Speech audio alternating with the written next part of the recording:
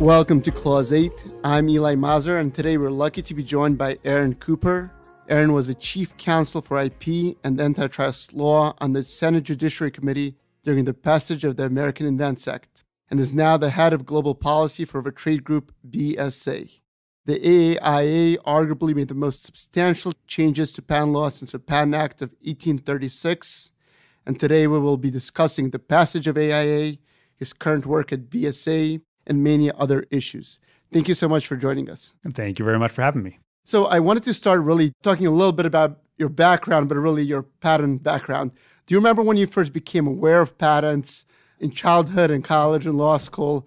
And I guess, what did you think about them at the time? It was definitely college and law school. In law school, I actually did not take a class on intellectual property. I was focusing primarily on an interest in communications law, which is what I actually started practicing when I went to Covington and Burling as an associate after law school.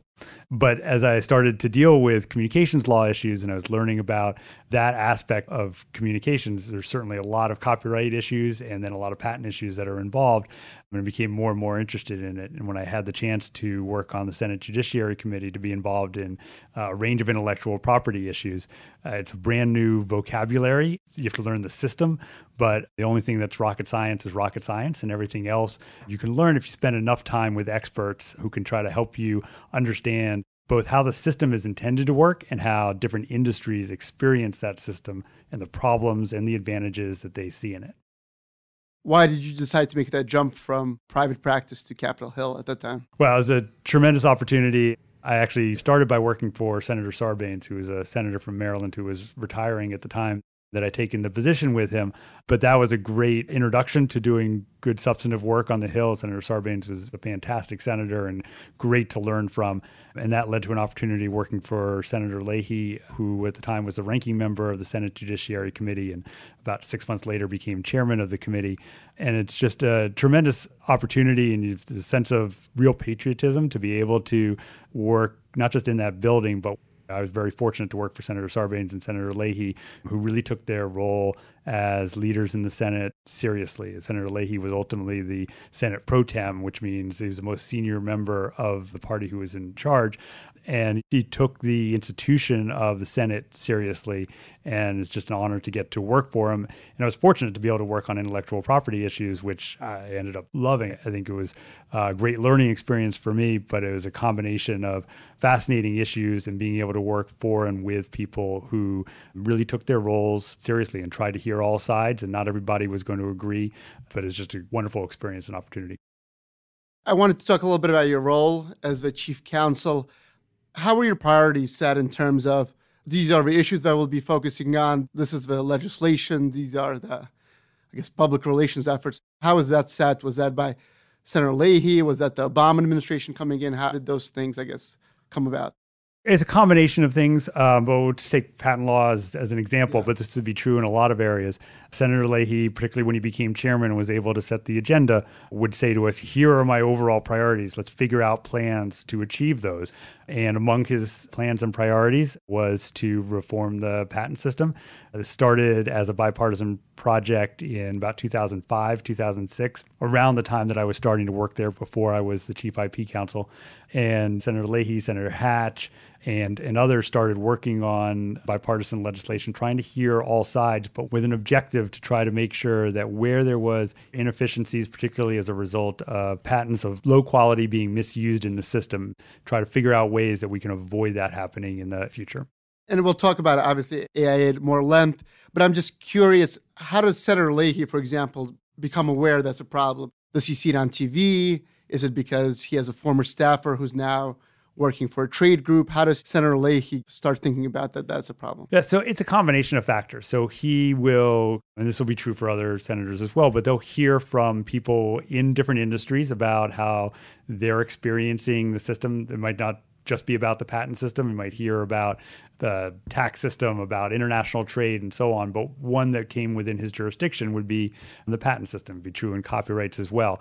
And we would combine that with what at the staff level we were hearing from different industry groups. And from that, develop first a decision as to whether it was worth investigating whether legislation made sense. And second, whether we could put together legislation that actually had a chance of changing and improving the system. But it would be a combination of hearing directly from industry participants, particularly industry participants in Vermont, which is where Senator Leahy was from, yeah. and combine that with the information that we were getting from different industry groups that would come in and talk to us about either the problems or the advantages of the way the current system was working. And let's say you're a business owner out in Houston, Texas, and you've never been involved in the DC lobbying or advocacy process, what would you recommend would be a first good step to get something on the radar of the right congressman or senator? Is it try to create a grassroots movement or is it try to go talk to their office? Where would you start? It's a great question. And I actually have had a lot of conversations with individuals, not just in Texas, although Texas actually is a state where I would hear from people individually, but certainly did from Vermont and, and in other places where I'd say there, there are two or three different things. One, it's important to know that you can always pick up the phone and call your senator and ask to speak to the relevant staff. And I was surprised at how few people took advantage of that in this area. Because when I was able to speak with people one on one, they wouldn't always agree with what Senator Leahy was doing on this issue in particular. Some would, some wouldn't. But having that direct communication about why we were trying to do what we were trying to do, I think was helpful for everybody often if one company in Houston, Texas is experiencing problems, other participants in that same industry are experiencing the same problem.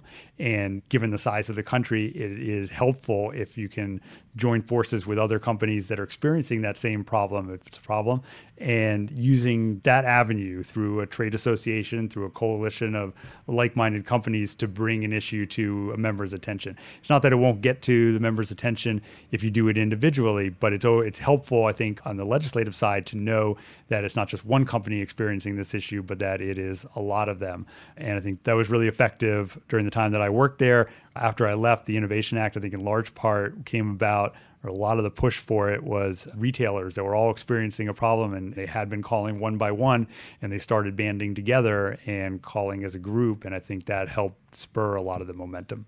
I guess overall, how would you describe the awareness regarding patent issues among senators? Well, it varies. It varies a lot. There are senators who worked in the IP field before they became senators. And Senator Chris Coons is a good example of that. They're members of the House, also with experience both as inventors and dealing with intellectual property in their businesses prior to getting to the Hill. But it's certainly a wide variety. And you think about the number of issues that members of Congress have to deal with, in addition to making sure that they are attuned to everything that's happening in their district or their state, there's no way to be an expert on everything. And as a result, one of the things that both the House and the Senate do is they break up jurisdiction of specific issues into different committees. So, for instance, patent issues come under the jurisdiction of the Senate Judiciary Committee, and so members of that committee that have been there for a while will have more familiarity with some of these issues in the legislative context because that's where the hearings are going to be, that's where the legislative debate is going to be.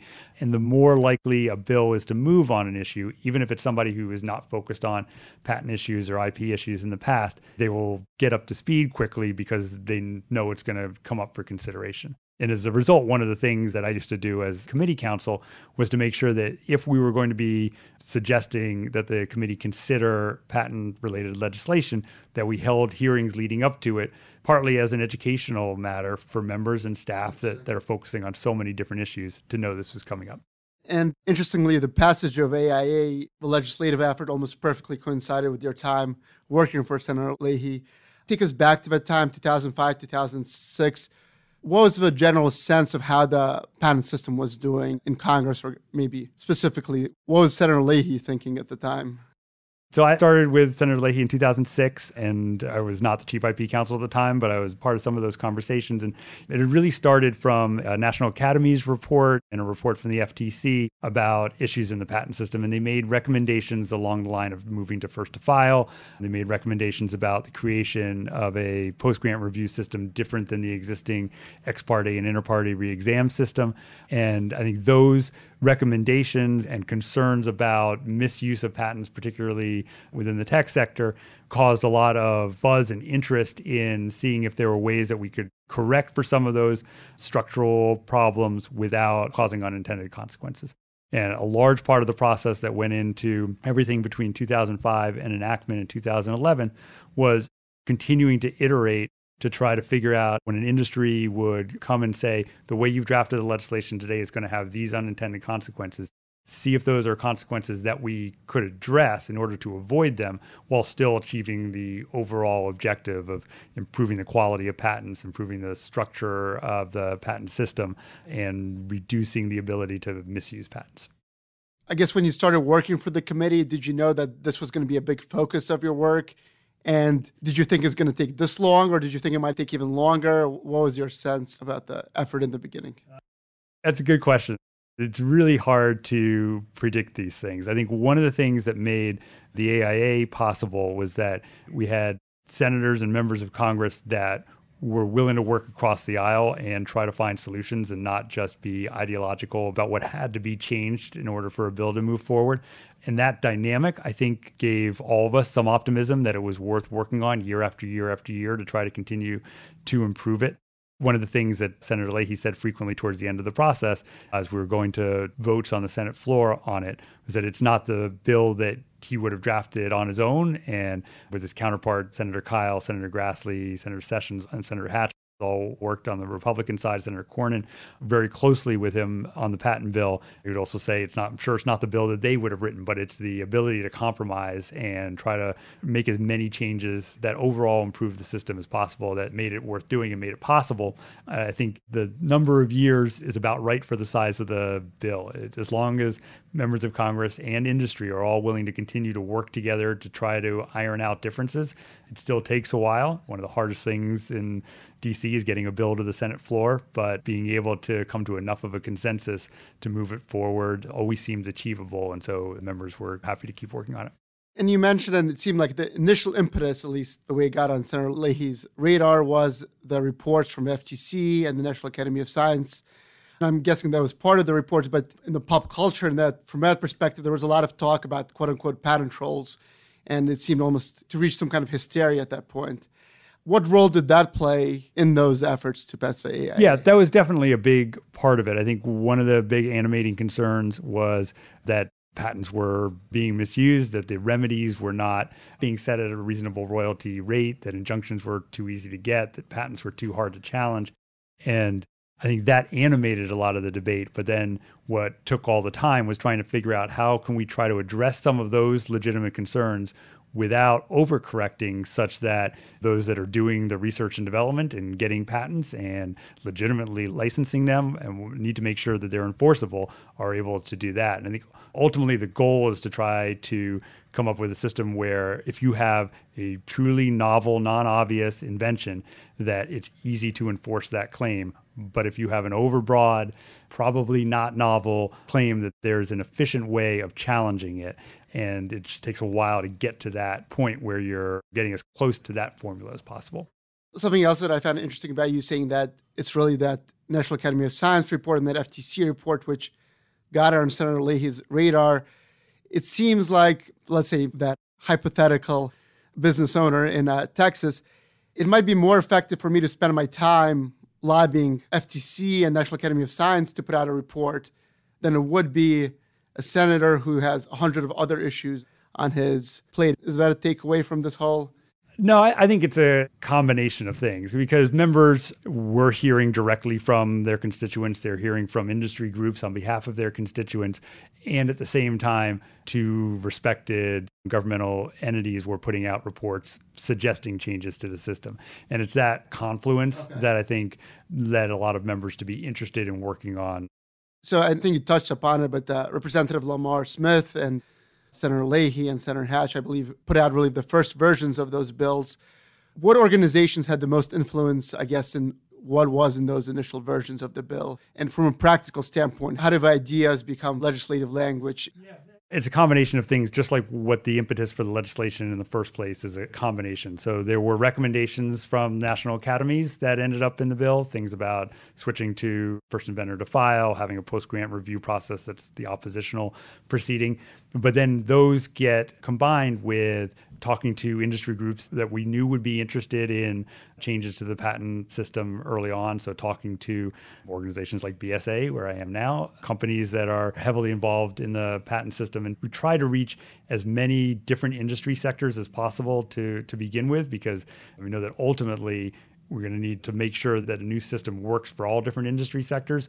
But to get everybody focused, legislation often takes a while to get companies and industries focused. But for those who were willing to participate early on, we're taking Senator Leahy and Senator Hatch and folks in the House, we're taking on those industry comments and trying to work them in. But knew that, for instance, I think when the first bill was Lamar Smith and Howard Berman on the House side, I think that they said on the record that they knew that this was just the beginning of a process because they hadn't been able to hear from everybody. And but having a bill introduced helps focus different industry groups, different companies, your friend from Houston, Texas, and it gets everybody to participate more and to comment. And then you can figure out how to address those issues as best you can after legislation's been introduced. From a practical standpoint, is it some counsel on the committee who puts that all together and takes a stab at it? And then how does that practically happen? Or does a lobbyist help him out? Because you hear stories like the lobbyist just gave the bill to the congressman, then he introduced that. But it doesn't sound, you know. I'm sure in some contexts things like that happen. That's not how this happened. This was a combination of bipartisan counsel. So I was not part of drafting the first one, but it, the way it worked in every iteration that I worked on, compromises in 2007, we had another compromise in 2009, 2010, and then 2011 before it got done. I would sit in rooms for a long time with counsel for my Republican counterparts and my House counterparts on both the Democrat and Republican side. And we would all sit down and try to work through what provisions should look like. Then we would get feedback from industry, from government, spent a lot of time with the PTO. The, one of the big deal, one of the times where we had a compromise that helped move the ball forward a lot was in, I think it was 2000- nine, right after Dave Kappos became PTO director. And Senator Kyl at the time had asked Senator Leahy, who was chairman, if as soon as Dave Kappos was confirmed as director, to have our staff sit down with Kappos and his team and work out what's workable for the PTO and what isn't. We did that along with our House counterparts as soon as Kappos was confirmed.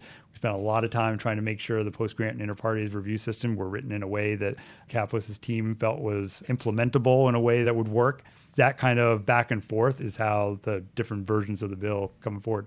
Is there any, I guess, private organization outside of government or any particular people that stand out in terms of having a lot of influence on the bill or they're people who were trusted and listened to because of their experience from any trade organization.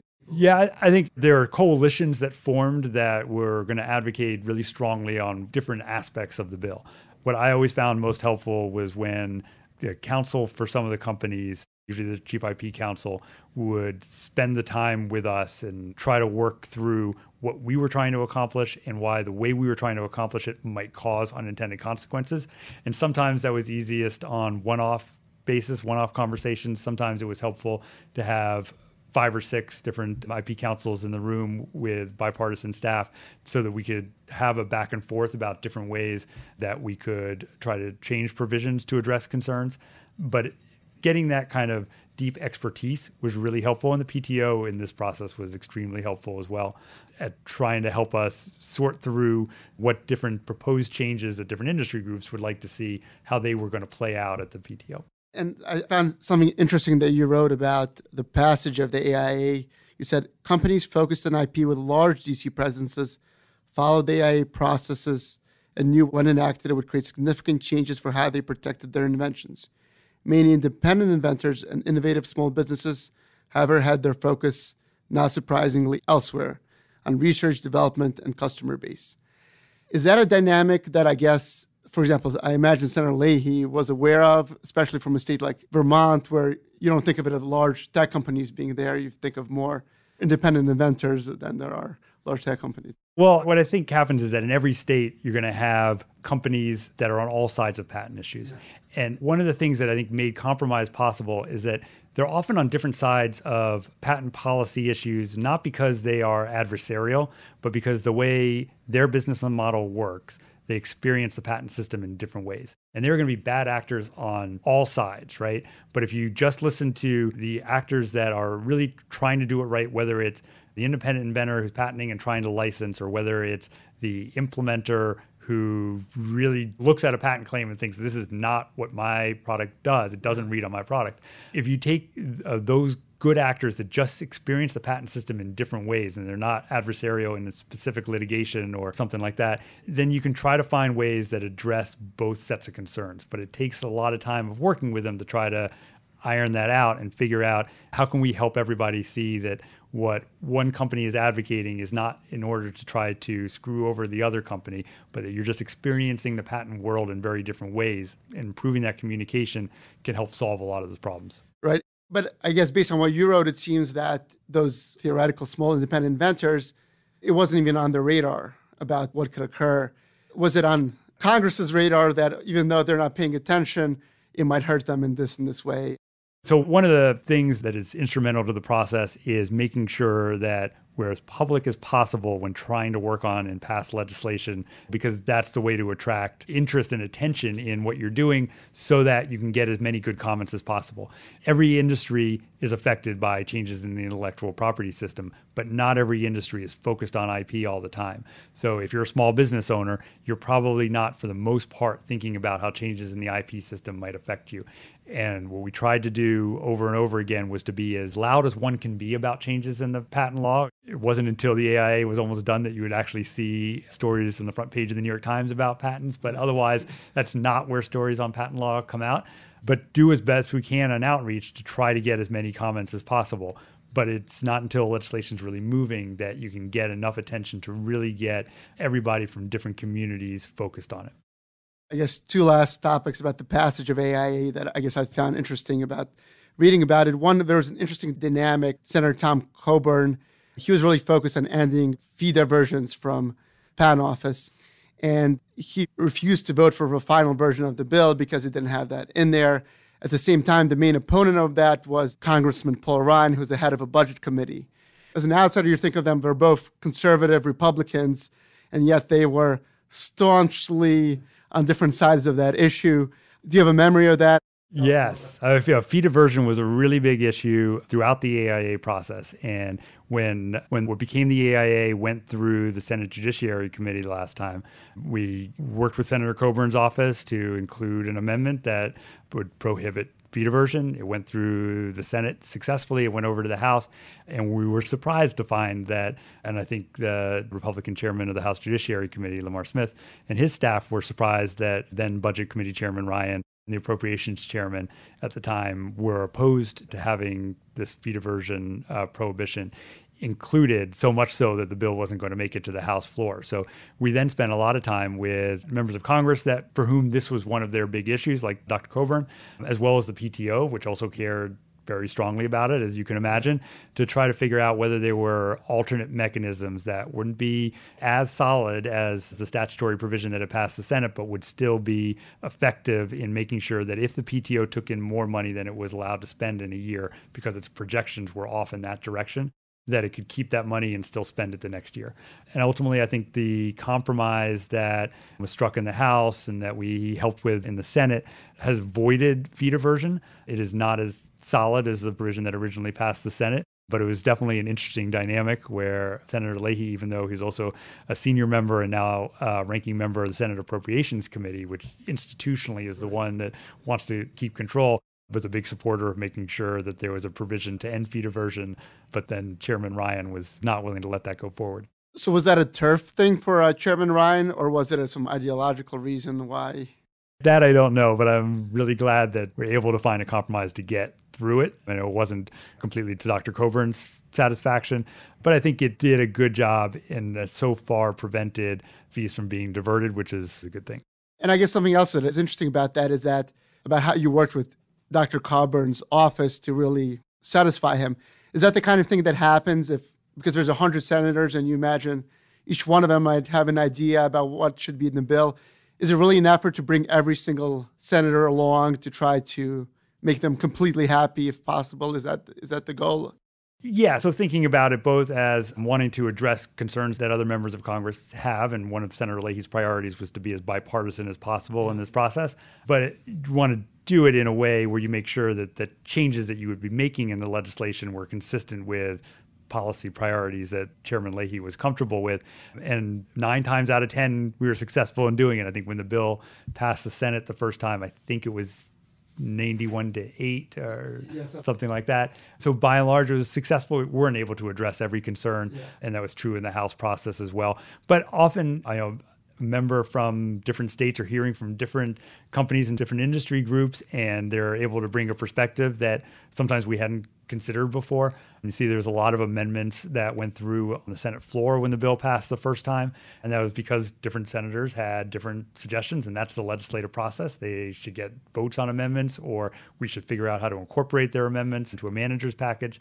And I think that process, both on the Democrat and the Republican side, went very smoothly, and we had a lot of both on the staff and member level an interest in trying to work together to find solutions, and that's the way the Congress is supposed to work. And that's great to hear. So I guess the bigger lesson to take away from that is if you get the attention of one senator on a relatively minor issue, then chances are once the big bill gets passed, he might have enough influence to really make that. Yeah, it's always best if you can get it in the beginning part of the process yeah. because that gives it the most chance of making it all the way through. But it's never too late to raise issues, and members really do want to hear. And it's not like you need the attention of the chairman of the committee or you, the Senate majority leader or something like that. It's really any one senator can have that kind of influence. Yes, yes. I mean, they are your elected representative, and yeah. they will go to the Speaker of the House. They will go to the majority leader of the Senate, the chairman of the Senate uh, Judiciary Committee, and raise those on your behalf. And you have to remember that within any state, your view might not be right. the only view. but if those views resonate with your elected representative, they really do that. And we made a lot of changes along the way as a result. Something else, I guess, uh, stuck out to me in the coverage of the final AIA is about how the covered business methods program ended up in there. I guess a lot of the coverage, the short version is Chuck Schumer inserted it on behalf of the big banks in New York if you read some of more detailed legislative history, if there's different versions of that, of how that actually happened. From your perspective, how did that special carve out happen for a specific type of, I guess, innovation?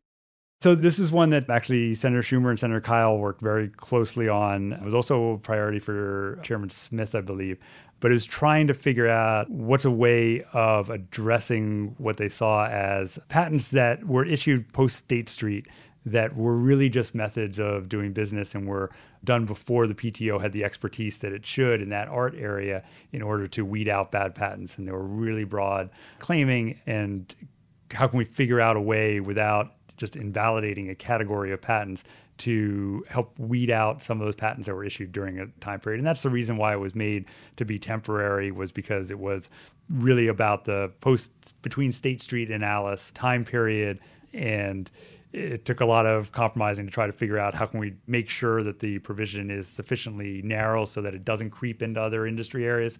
And how do we make sure that it's not going to last more than the i think it was five originally and became eight? But that time frame um, where it's really about weeding out patents that shouldn't have been issued in the first place. But we also spent a lot of time with the pto trying to work on can we narrow it further by making sure for instance that it can only be used when you've been threatened with lawsuit and different ways to try to cabin in provision. Because as a general matter, I think for the patent system, we don't want to have provisions that are technology specific and make some forms of inventions more valuable than others and have the government making that choice. I think this was a very special case. Well, I think I'll, we'll talk more about it because I think we obviously agree about this issue now. But there were other ways to invalidate these bad patents. Obviously, you can just do it through litigation or through the other post grant proceedings that were created.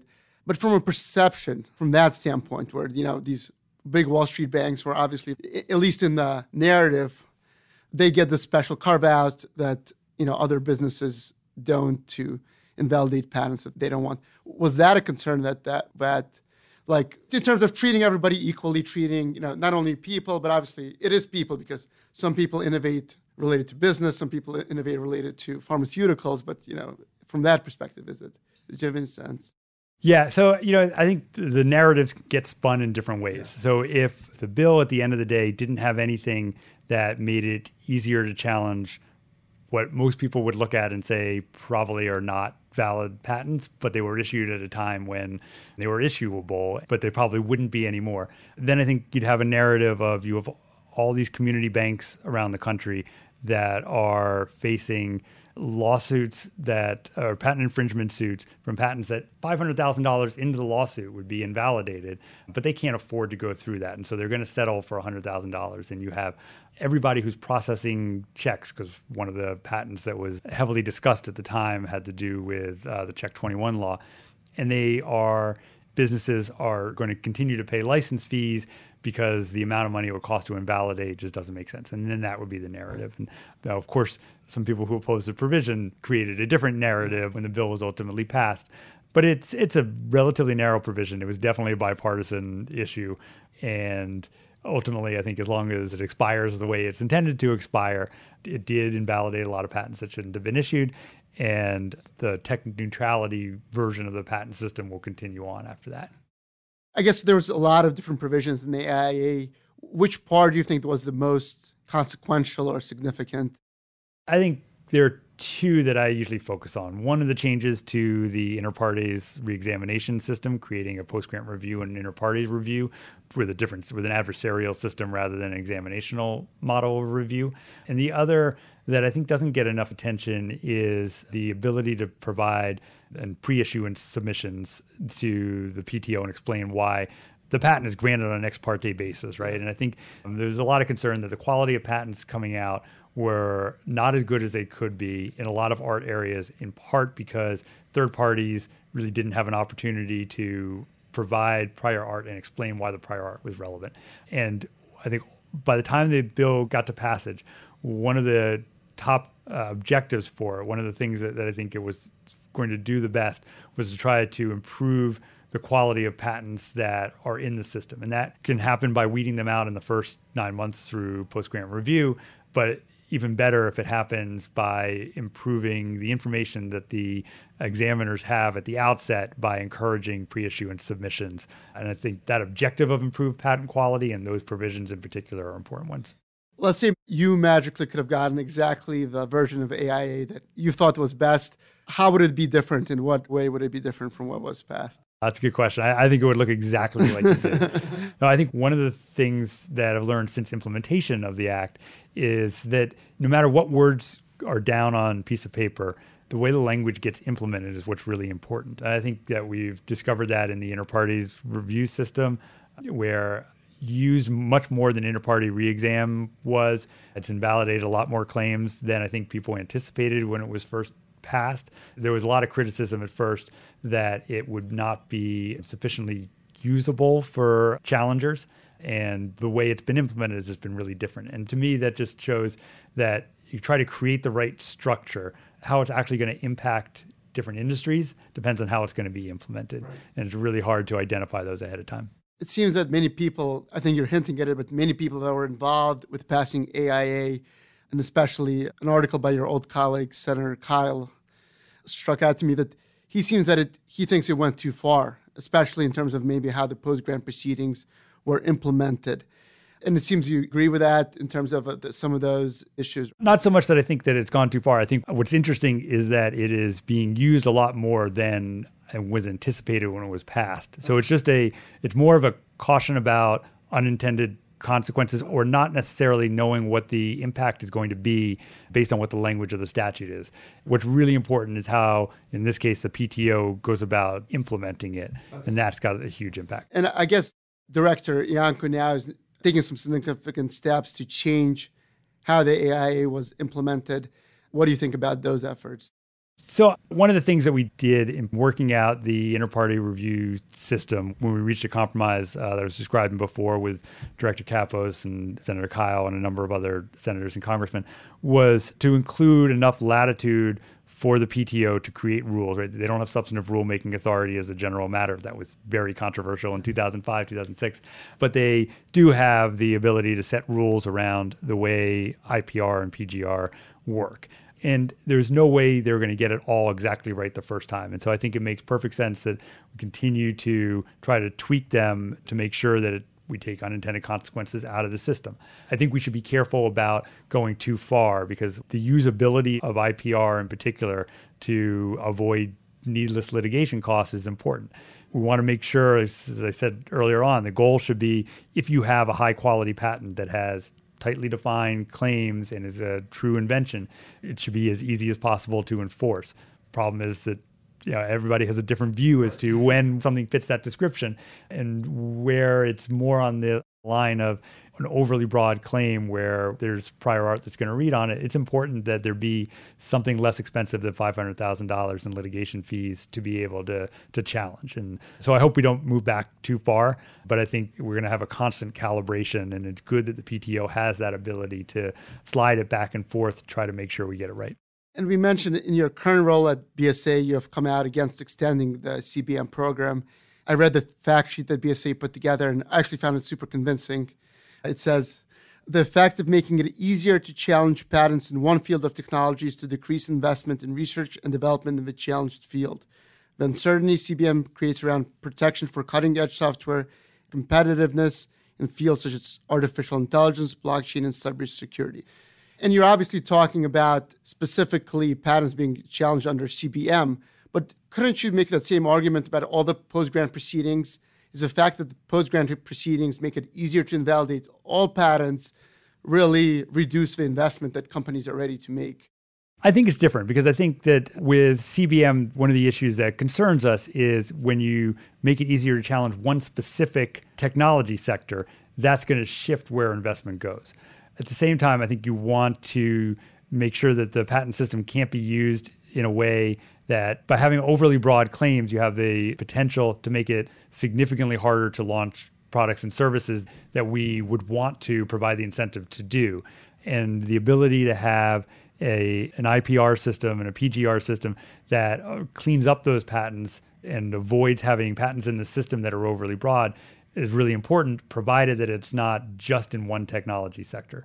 I wouldn't want to have a separate rule for a chemical compound than we have for any other yes. technology sector. It's that kind of disparate treatment that will lead to government created distortions in investments. Oh, I see. So I guess the concern is about the distortions in terms of, but I guess, and Director Iancu has talked about it, and former Director Kappos, I think, would agree with it. At the very least, there's a perception that wrongly or rightly that patents are easily invalidated these days. And uh, probably if you're a small independent business owner who's getting sued for patent infringement, you might not agree, but there's at least this perception among the investment in the investment community. Do you disagree with that perception or do you think it's a problem or it outweighs yeah, we need to keep we need to keep working towards the balance that says if you have a good quality patent, you can enforce it, and if you have a patent that is of low quality, you're not going to be able to extort rents based on it. And I think 10 years ago, we had the opposite problem. 10 years ago, we had the problem that the perception was if you had a patent, regardless of the merits of it and whether it would withstand scrutiny, you're going to be able to collect $20,000, $50,000, $100,000 at a time because nobody's really going to challenge it. Now, I think the perception has, has, shifted back, as you've said, and maybe gone too far the other direction. But trying to get that balance is what's important. And it's not always possible for the legislative text or the statutory text to convey the principle of you have a high quality patent, it's going to be enforceable. And those who are using that technology should be paying a reasonable royalty. But if you're really trying to claim beyond what you invented, you're not going to be able to do that profitably. And I guess I wanted to finish this discussion about the post grant proceedings about two specific criticisms that exist. One is that the same patent can be endlessly challenged by the same party or by different parties, even at the PTO. Do you think that's a problem or, or not? Well, it depends on how it's done. So the system can be misused, and the PTO has the rulemaking authority to try to deal with that. On the other hand, if a claim was challenged in an IPR today, and 10 years from now, the patent is still in the system, and there's a company that didn't exist today, but exists 10 years from now and is facing a lawsuit based on that same claim, they should still have the same tools to try to challenge it. Right. So it's just making sure that the IPR system isn't being misused, same way we don't want patents to be misused. Should the same company get a chance to challenge the same patent twice? You couldn't challenge the same claim twice if you failed the first time around, you would be stopped right. from either bringing an IPR or raising the same prior art. If you weren't aware of the theoretically, if you weren't aware of the prior art. Well, if you could reasonably yeah. have found it, right? Yeah. So, I mean, One of the big issues that was at issue when we created the IPR system was whether to get rid of the or could have raised part of what was in inter partes reexamination.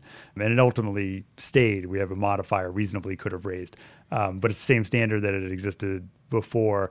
And it's usually believe it is usually interpreted pretty broadly so that if it's since prior art for an IPR challenge has to be in the form of a written publication, usually you can find those at the right, same time.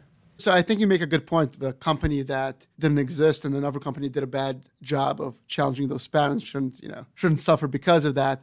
But the second issue is I guess you've seen the rise of these third-party entities that independently challenge patents. And supposedly they don't work directly with the litigants, but is that a positive development that some third party entity can, you know, just look around and see what company doesn't like and start challenging their patents? I think the key is to make sure that the standard for two things. One, the standard for successfully challenging a patent and getting it into IPR has to be sufficiently strong. And it is now a higher standard than it was under the inter partes reexamination system. Right? People criticizing the current IPR system often forget that in the inter partes reexamination system, something like 98% of all petitions for inter partes reexam were granted. And it's lower now. It's still high, but it's lower than that.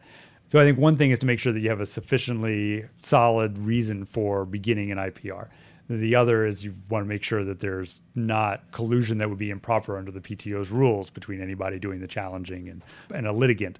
But I think we do want to make sure that all the patents that are in the system are high quality and should have been issued in the first place. And to the extent, particularly in the first window, I think the goal of the first window was to clean up patents as quickly as possible so that the patent owner doesn't rely on the patent grant when the grant shouldn't have been issued in the first place.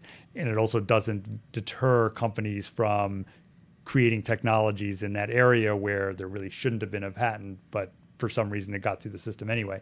And I think for third parties to be using that, especially that first window, is probably a good thing, provided that the threshold for getting into the system is sufficiently robust. So I guess from what I understand is they're kind of doing a public good regardless of how they get funded in terms of getting rid of bad patents. Doesn't mean that there might not be unintended consequences yeah. depending on the actual use case, but there's circumstances where I think it does make sense and was part of the the idea. Okay. So it's not like it was a surprising development that these kind of entities sprung up. Not that there would be entities that would be looking at patents that should not have issued. And, and partly, I mean, we would, at the time that I was working on it, we would hear from public interest groups that were doing that as part of inter partes reexamination. Right. And inter partes reexaminations, while they were all instituted, only two or three, I think, ever went to finality. So there was a concern about just how long it took. And a large part of inter partes review was shortening that time frame and raising the threshold for beginning it. Very interesting. So I guess the, the last big topic that I want to talk about is really BSA itself and really the role of interest groups. And I'm just curious about how they work and how they impact the IP policy process. So BSA was actually started, from what I understand, by Microsoft, but now it's made up of a very diverse set of companies, everything from IBM, DocuSign to Apple, which seem very different in terms of their IP strategies and the IP issues they face. How do you form a consensus and decide what positions, what IP policy positions to take? Well, our members are primarily enterprise software companies. Microsoft, Apple, DocuSign are three of them. And we work together as new policy issues come up to decide what an industry consensus position would be.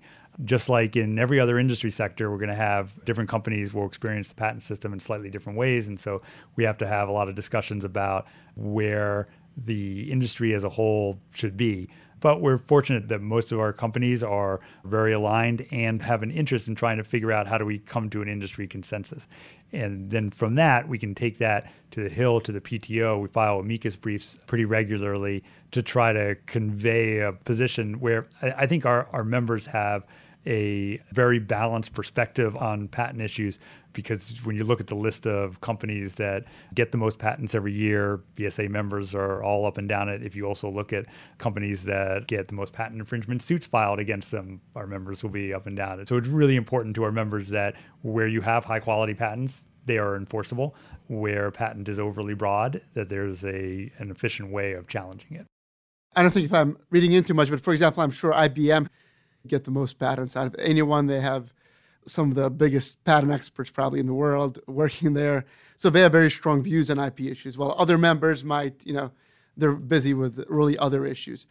Is your role really educating some of your members about what positions they should be taking, how they're benefiting, or is really just taking inputs and kind of seeing where you could reach that agreement, where that intersection took place?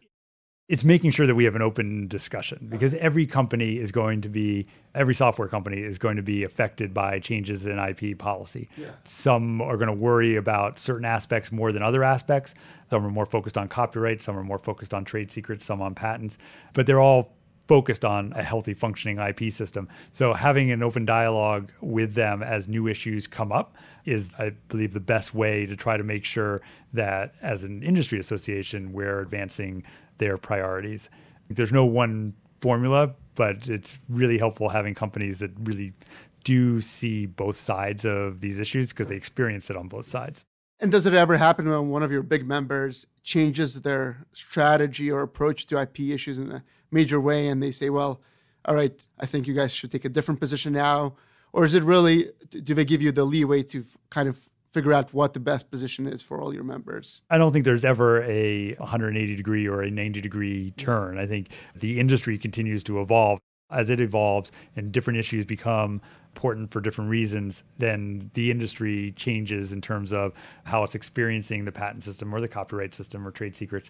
And then because we're having constant conversations, that will help inform where, as an industry association, we should be and how we can be best supporting the continued growth of the industry.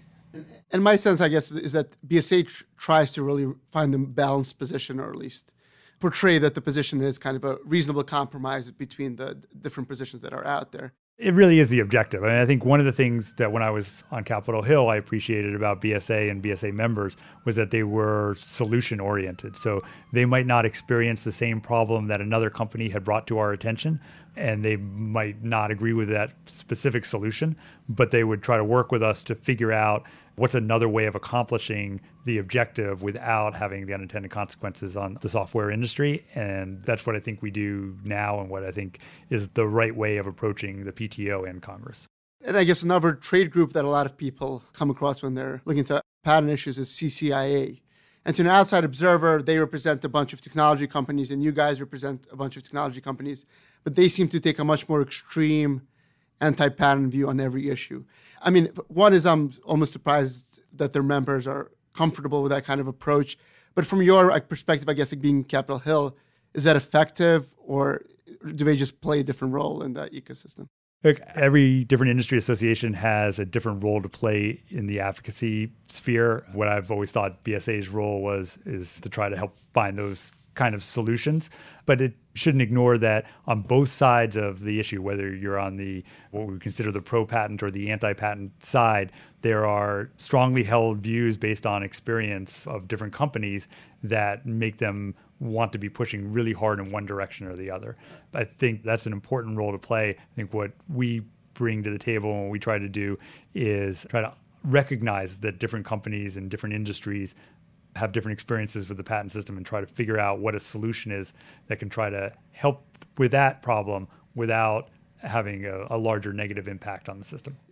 Is it fair to think, well, this trade group is taking this position, so this member supports this position? Or is that not really a fair I think almost all associations are big enough that it's hard to draw that conclusion. Yeah. Certainly here, I can say that we try to make sure that we are driving a consensus. That's our objective. But different companies are going to have you know, different nuances to to how they view an issue. And fortunately, they they also engage directly with members of Congress and and the administration. And I think that's important.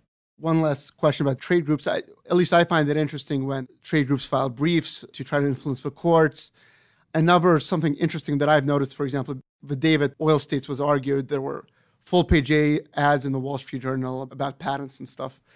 Is there a strategy that trade groups are thinking about about trying to influence the judges or the clerks in some kind of not just by filing briefs by other? I don't know about advertisements. It's not yeah. something that we did. But we do file briefs and we do it in large part because I think it's important for the justices or the federal circuit to hear how we believe a certain outcome is going to affect the software industry in our case. And I think it's important when bio does it and pharma does it and other groups do it. I think it is helpful for the court to know that, that it's not just the litigants that are going to be affected and they should have a sense as to how it's going to affect the broader ecosystem. And so we've been doing that, particularly on IP cases, for a long time. A lot of our companies are very focused on privacy and cybersecurity and AI today. And so that, that's been a lot of our focus recently. But we have historically, including in oil states, filed amicus briefs because I think it's important to give a full industry perspective.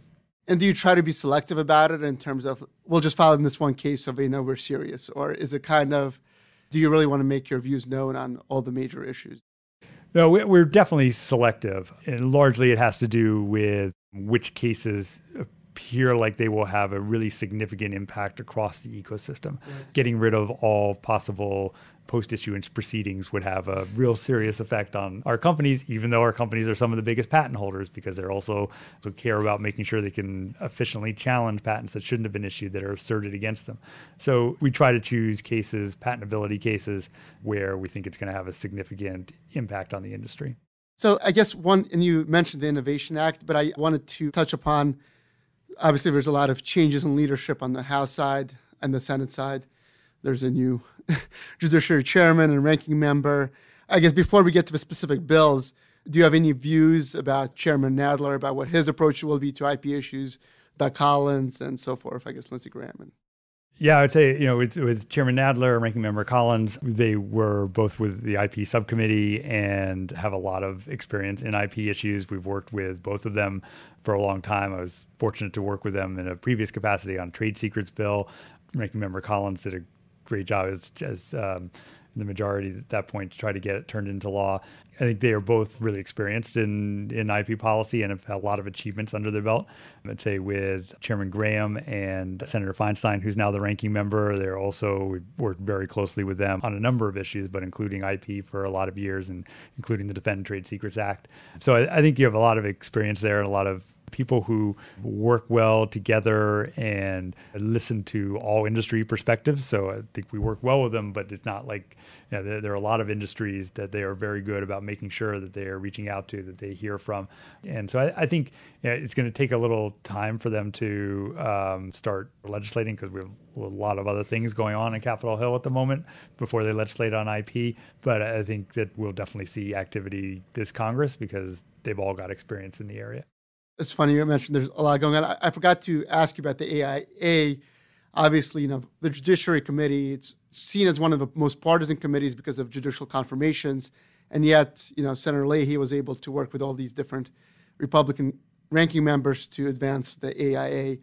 Can you talk a little bit about the dynamic and then how do you see that dynamic coming into play with obviously Chairman Nadler says he's going to be focused on investigations of the Trump administration. Is it realistic to expect anything getting done on the IP front with that all of that?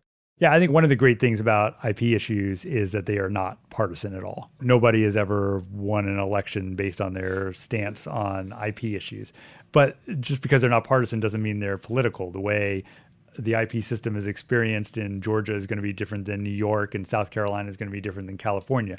But the um, the ability to work across party lines is what makes IP bills successful and and viable. Um, and it's also, I think, one of the things that members of Congress enjoy about IP bills is the ability to work across party lines when you're going to be fighting tooth and nail on something else to be able to have some issues where uh, you're just trying to solve problems. Oh, that's interesting, uh, yeah. and, and, I think that that that's you never think about that, but that's an interesting uh, conversation. I know you mentioned the Innovation Act, and then that's actually trying to get additional quote unquote patent reform. And then on the flip side, you have Senator Coons and Senator Cornyn introducing the Stronger Act to kind of maybe dial back some of the reforms in the post grant proceedings. Where do you see either one of those bills going? Anywhere? Is there any compromise between those? It seems completely different directions. Well, one of the things that they do, I think, is they help prompt conversations. And one of the, we talked earlier about the difficulty sometimes in getting different industries and companies focused on patent issues when they've got a hundred other things that they need to focus on. In introducing legislation, one of the things that it does is it gets companies to come in and express their views and explain why they think uh, bill is either the best thing in the world or the worst thing in the world or somewhere in the middle. And I think the introduction of those bills has had that effect over the last couple of Congresses. When the during the AIA process, there was uh, almost always a Senator Kyl bill that was sort of similar to where Senator Coons is, in addition to the patent reform bill, until they finally were able to come together and figure out which pieces we could put together that would accomplish everyone's objectives. I guess the other big development that you you are hearing about in the Hill, and I was surprised to hear right after the election, is that at least Senator Coons is making some efforts to work out to look into working out some possible solution with regards to patent eligibility issues. At least my reading into where the BSA stands, that's something they'd like to fix as well. Is, do you see those efforts going anywhere anytime soon? I think the language of 101 has stayed the same for a long time yeah. and the level of concern from different industries has changed over time based on court interpretation right so i think that there are just a lot of different views as to whether changing the way eligibility works through statute is either achievable or advisable versus trying to figure out if there's a way of the PTO continuing to make sure that they are taking the best parts of, of case law that's come out, right. you know, and, and working through it until we get to a point where patents that, that should be issued are and those that shouldn't are not. I think it's good that there's a lot of focus on it. Legislation around it is complex. And it's interesting you hear about the important role that the PTO can play, but do you think the courts will quote unquote trust the PTO more to make that judgment with regards to patent eligibility? No, I, I, think it's more that as new cases come before district court, the federal circuit, the Supreme Court, they'll continue to work out the contours of what it's supposed to mean and what should be excluded and what shouldn't be excluded. And it needs to be an iterative process. And you could change the statute today, and you're still going to have interpretation problems. So I, I think one constructive way of looking at it is if the PTO continues to work on it and grants patents that as a community we all think that they should, then those will be the cases before the courts and we'll continue to see improvement in the sense that everybody will have clarity about what's patentable and what's not. I guess I don't know if you heard about this theory, but there's a theory out there that maybe the Supreme Court will get rid of the judicial exceptions altogether under the influence of Gorsuch and Kavanaugh. Do you think that's realistic to kind of prompt any kind of action on Capitol Hill? I haven't been, but the next time somebody asks, I'll be able to say yes. Okay. All right, great. Um, two last substantive questions before we get to the hopefully fun questions. Besides what we discussed, any predictions about any major IP developments that aren't being, you know, tracked, appreciated by the tech or IP community that you can think of?